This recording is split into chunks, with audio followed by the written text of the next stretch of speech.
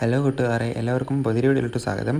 അപ്പോൾ ഇന്നത്തെ വീഡിയോയിലൂടെ നിങ്ങളുടെ മുന്നിൽ കാണിച്ചു തരാൻ പോകുന്നത് ഞാൻ എന്റെ കൂട്ടുകാരുമായിട്ട് അതിരാവിലെ തന്നെ കൊഞ്ചനെ പിടിക്കാൻ പോകുമ്പോഴുള്ള കുറച്ച് വിഷ്വൽസും അതേപോലെ തന്നെ ഈ നാട്ടിലെ കൂട്ടുകാർ എങ്ങനെയൊക്കെയാണ് കൊഞ്ചനെ പിടിക്കുന്നത് എന്നൊക്കെയാണ് ഇന്നത്തെ ഈ വീഡിയോയിലൂടെ നിങ്ങളുടെ മുന്നിൽ കാണിച്ചു തരാൻ പോകുന്നത്.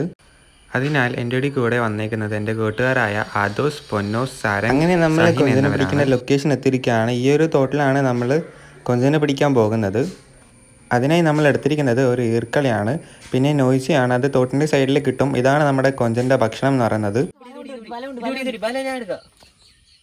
അപ്പോൾ നിങ്ങൾക്ക് കാണാൻ പറ്റും നമ്മളെ കലിന്റെ അവിടെ വെച്ചപ്പോൾ കൊഞ്ചം മെല്ലെ മെല്ലെ എങ്ങനെ ചുട്ടുന്നത് അപ്പം നമ്മളൊരു വലയെടുത്ത് പിടിക്കുകയാണ് ചെയ്യുന്നത്. അങ്ങനെ നമുക്ക് കിട്ടിയ കൊഞ്ചനാണ് നിങ്ങളിപ്പോൾ കാണുന്നത്. ടോട്ടൽ അഞ്ച് കൊഞ്ചനെ കിട്ടിയിട്ടുണ്ട്. നമ്മൾ ഫ്രൈ ചെയ്യുകയും ചെയ്തു